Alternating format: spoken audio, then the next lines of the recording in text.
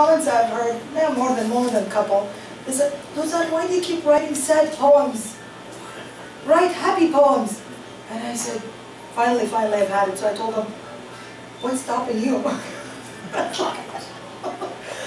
I, for me, it's a therapeutic. I write about things that we're ignoring in this world. So uh, this poem's called Word Camera. Capture the moment, they say. Take a picture, they say. You'll remember it better.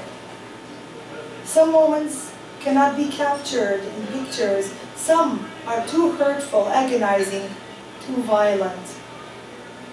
Some are too fast, too sudden, unexpected. Some, like my childhood, didn't have a camera. How can I capture moments of my tiny face peeking only halfway through the lightly open door of my bedroom? I watched her get hit repeatedly, mercilessly, violently, while she was pregnant. I didn't have a camera, yet I remember the moment. I remember moments of excruciating loud sirens announcing airstrike, children screaming, running in all directions, not knowing where to find safety. The sound of giant doors opening wide, binding chain echoing around us. The headmaster announced in a panic voice, everyone go home, war has begun, school is dismissed. I didn't have a camera, yet I remember.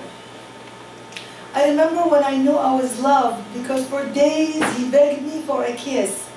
My mind captured the moment he kissed me, only once on the cheek. I had no camera, but I remember how it looked. I try to capture moments with words because moments like these cannot be captured by a camera.